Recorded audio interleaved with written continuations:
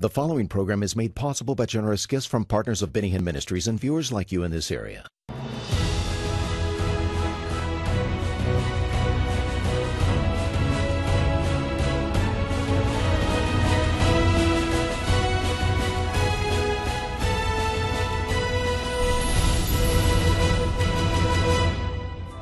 Today, Pastor Benny Hinn concludes his intriguing teaching series on the three revelations of faith with an in depth examination of the measure of faith.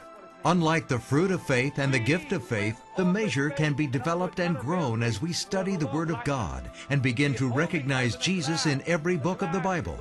Now, let's join the audience at Pastor Benny's regular Monday night service in California as he concludes this important message with a revelation of seven destinations the measure of faith will take you as it is developed in your life. The measure of faith is, is, is, is my responsibility.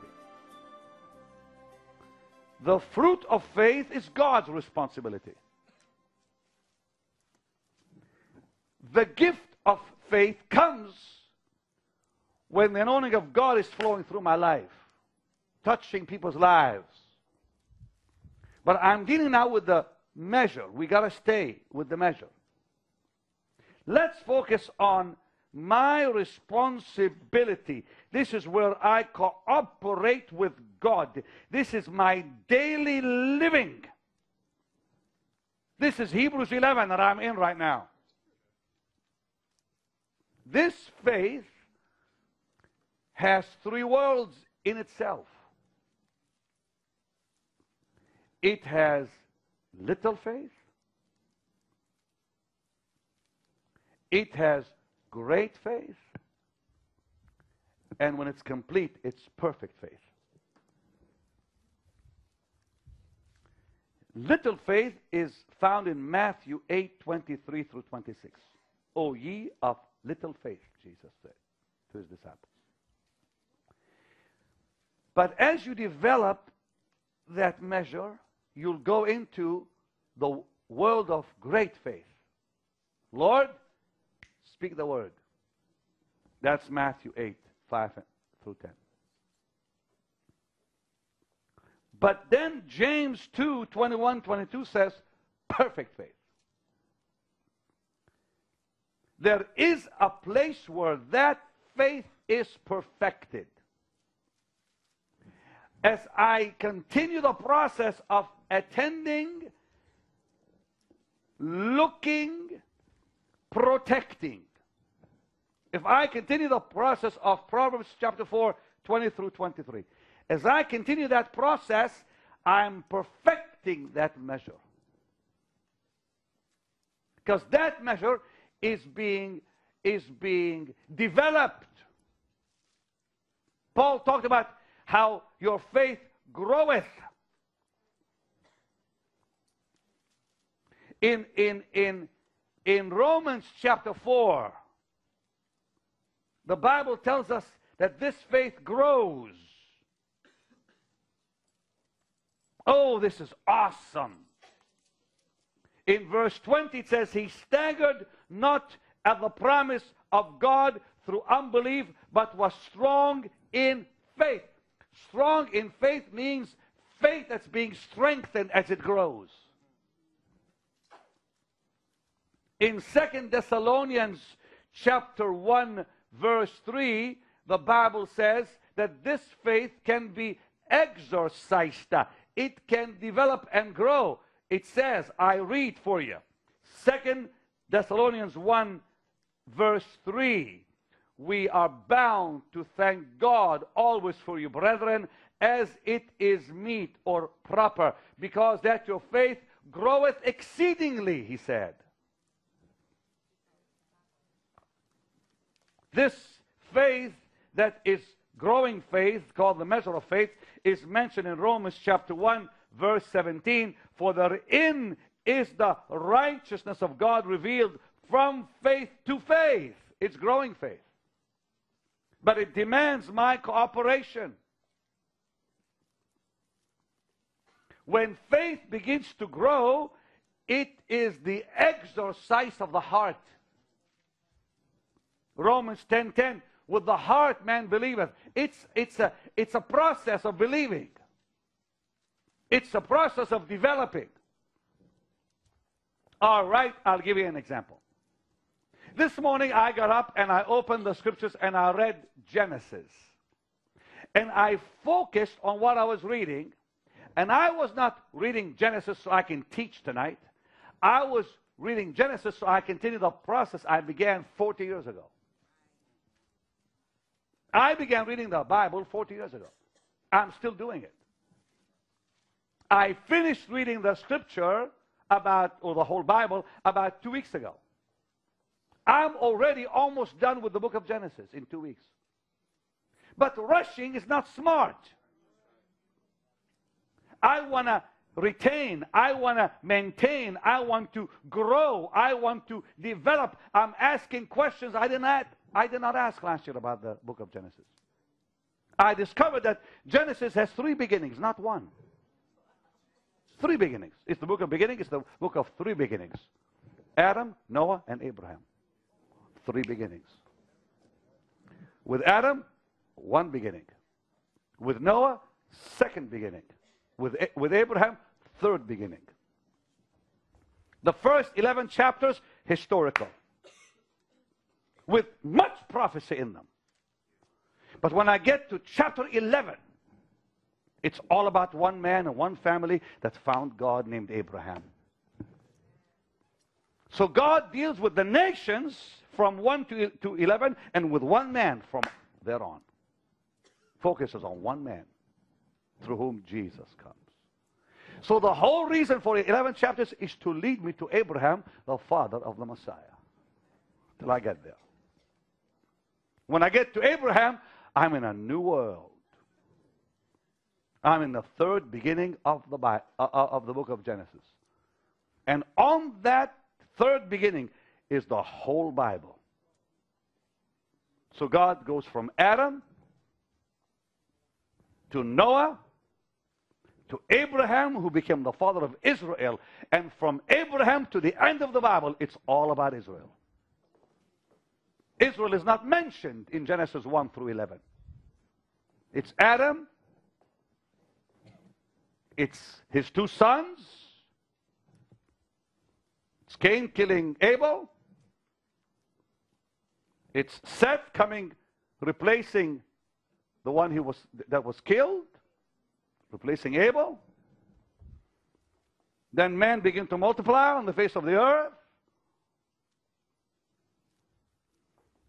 till the flood. God chooses one man out of that whole globe, out of the whole world. The seed of the Messiah is in him. He's saved for one reason. He's carrying the promised Messiah.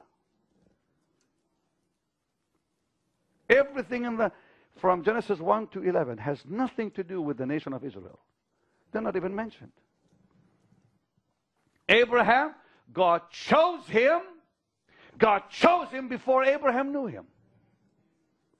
Abraham's father and family worshipped idols. God appeared unto him, identified with him, and said, I'm the God of Abraham from now on.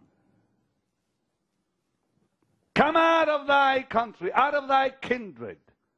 He left, but because he was so controlled by his dad, he could not go to the promised land yet till his father died. So they go from Ur, right north of the Persian Gulf, present day Iraq, southern Iraq, all the way to Mesopotamia, which is Syria today, north, and has to live there in Haran with his father who went to Haran to sell idols. He was an idol worshiper. Then he comes south to the Holy Land and pitches his tent. And the Bible tells me something amazing. The man of faith tells God, I, you know, I'm not interested in having another son. I have one, I love him. In Isaac shall thy seed be called. In Isaac will the Messiah be called, not Ishmael. Because Ishmael is the son of the flesh. I reject him. And God waits till Abraham's body was dead. A hundred years old. He's dead. Can't produce. When God saw that the body is dead and Abraham couldn't do it, he said, Now I'll do it. The Son of the Spirit was born by the Spirit. Sarah was 90 years old when she had Isaac. And from there on, you see the relationship between the Father and the Son. It's mind boggling. I see Isaac carrying the wood. That's Jesus carrying the cross.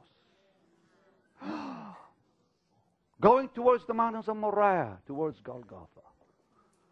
I don't see an Isaac with wood, I see Jesus with the cross. Don't you feel the anointing when I'm talking about it? It just thrills my soul, William. You read that and everything in you becomes a roar of the Spirit. Well, how can you stay weak in the faith? Dear God, after I read this, I want, to go lay hands on people. I was somebody walk into my bedroom when I'm reading just to lay hands on them. Because I get all stirred up and I want to just bless somebody. But nobody's there. So I bless myself.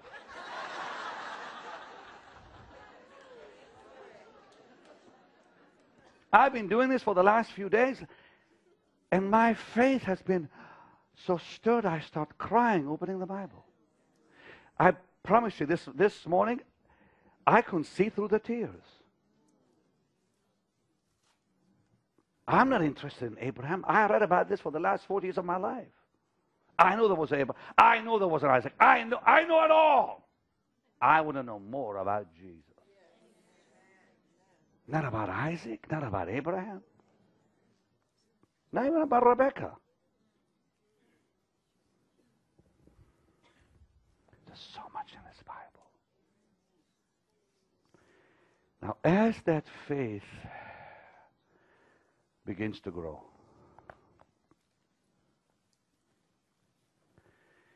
something begins to happen. For it says unto. There's a destination here. Unto what? Well, seven destinations of faith. Here they are. Write, write them down. This is what the measure will give you. This is what it will take you. Number one, unto salvation. Ephesians 2 8. By grace are ye saved through faith. The first destination God brings you into is salvation.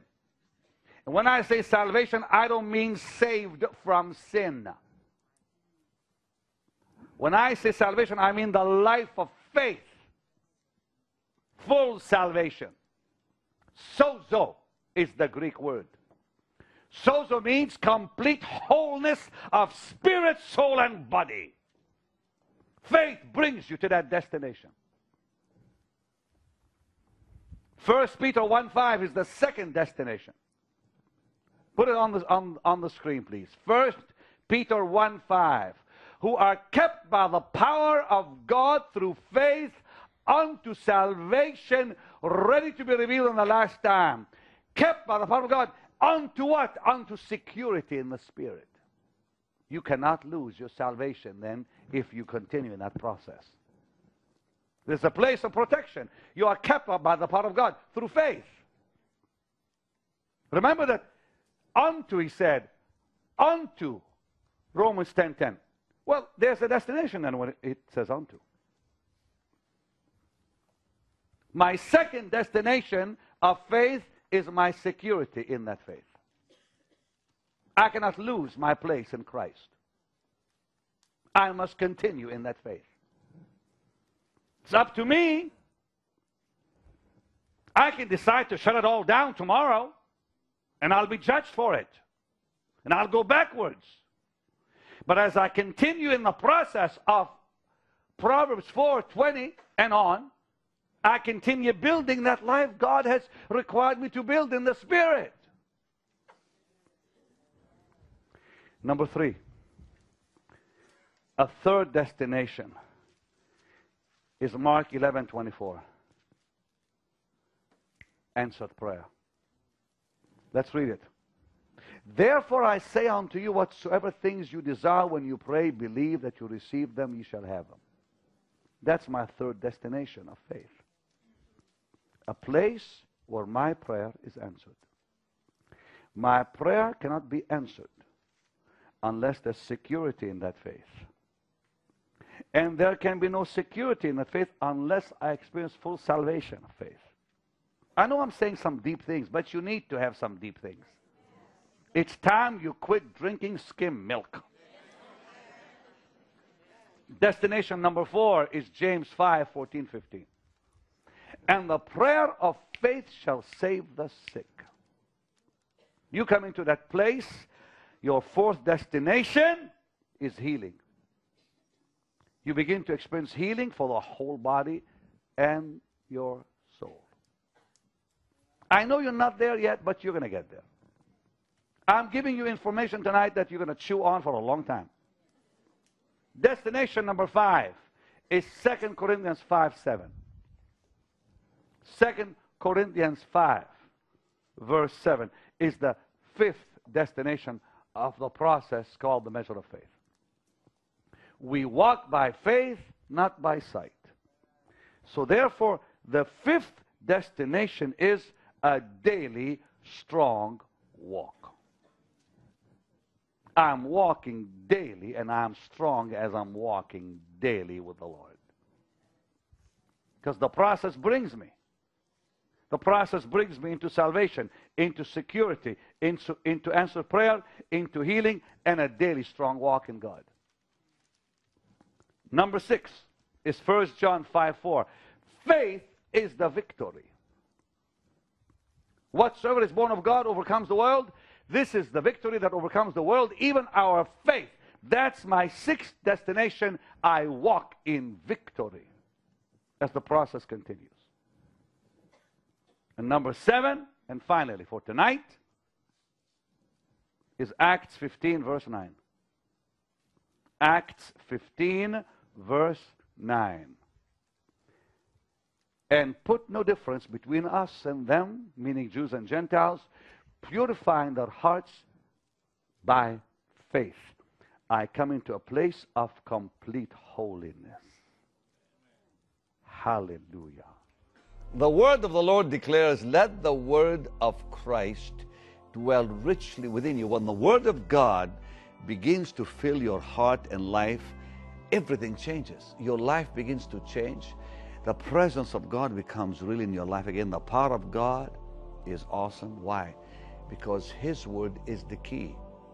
My son, attend to my words, incline thine ears unto my sayings. Let them not depart from thine eyes. Keep them in the midst of thine heart. Why?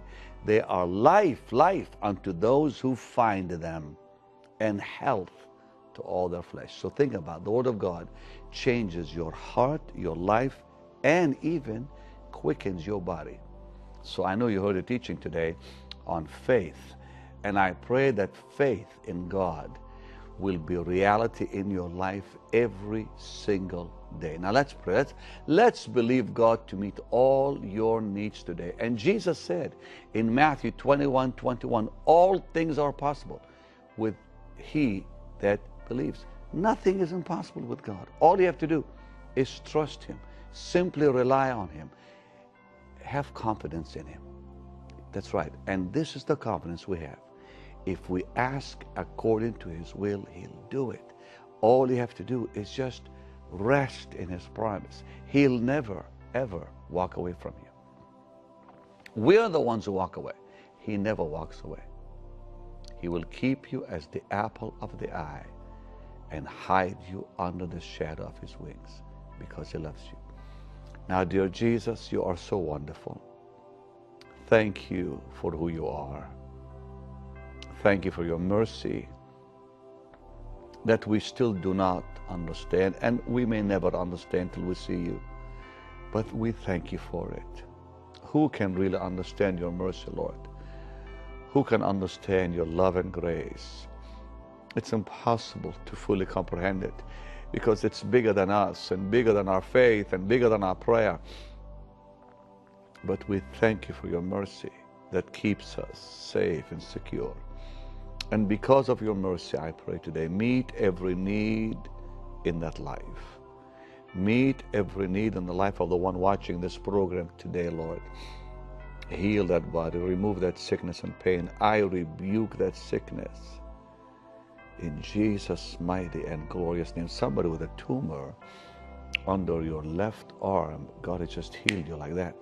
Thank you, Jesus. Arthritis in the lower back is being healed. An ear infection and the right ear is being healed. A heart condition is being healed. I rebuke it in Jesus' name. Cancer, stomach cancer, I rebuke it in the name of Jesus. Lord, heal your people. Wrap your arms lovingly around them. Let them know your tender love and care in Jesus' name. Amen. Don't you love it? They The anointing so precious. The greatest miracle is salvation. If you don't know the Lord, just say, Dear Jesus, I need you.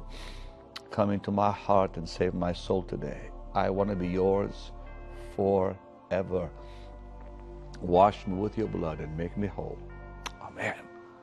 You know, He's so precious. I just came back from Pensacola, Florida. I had a great, great, great time there. We'll show to you or parts of it. Next week, we'll be showing you what God did in the UK and in, in the Ukraine. Ah, London was awesome, and, and the Ukraine, the power of God that flowed was just magnificent. Thank you for being my partner and friend. And if you're not a partner, join and become a partner today. Help me take the gospel to the world. Listen, I'm traveling everywhere. I'm going to four countries in Africa this July. And then in August, I'm going to Holland, England, France, Spain, on and on and on. I'm traveling more than ever. I mean, every month, you know, and, and I, am loving it worldwide. And we'll be showing you that next week. So thank you for your partnership. And you're helping me with children and orphans and the homeless around the world. We still have many who are we, we are supporting 45,000 kids around the world plus, uh, you know, just the need around the world so great. Help me help them. Thank you. So become a partner today by calling the number on the screen. I've sent you a letter.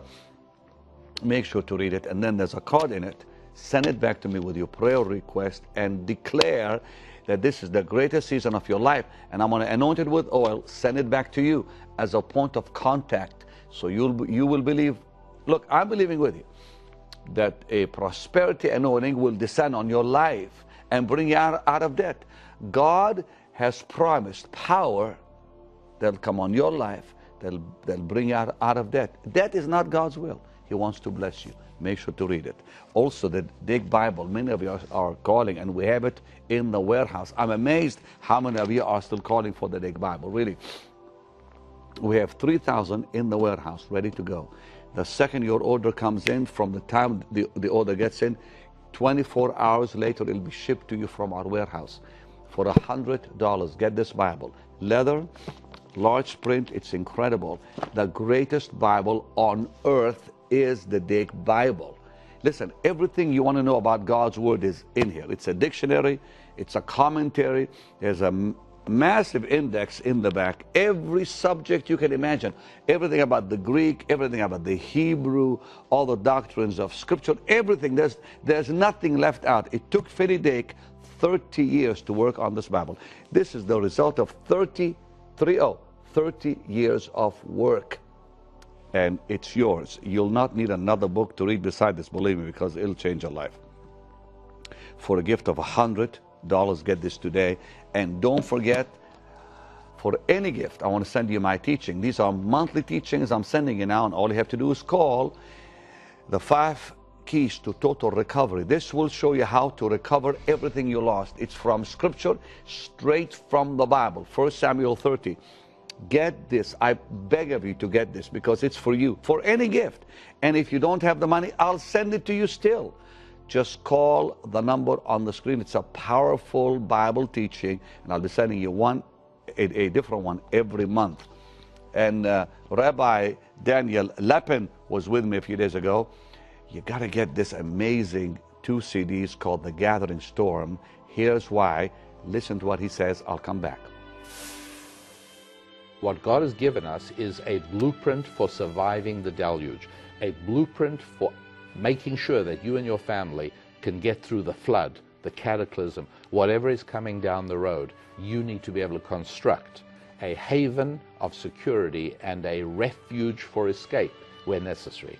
And it's all in here. So the it's the several hours of audio CD, and the reason that people have to have it on audio CD, if I may say, is it's terribly important to have repetition. You've got to be able to go through it again and again, so that it moves from here to here, because So- action flows from the heart. This will help people Yes. prepare for the future, really. What I bring are uh, God's secrets that are embedded in His language, embedded in the text.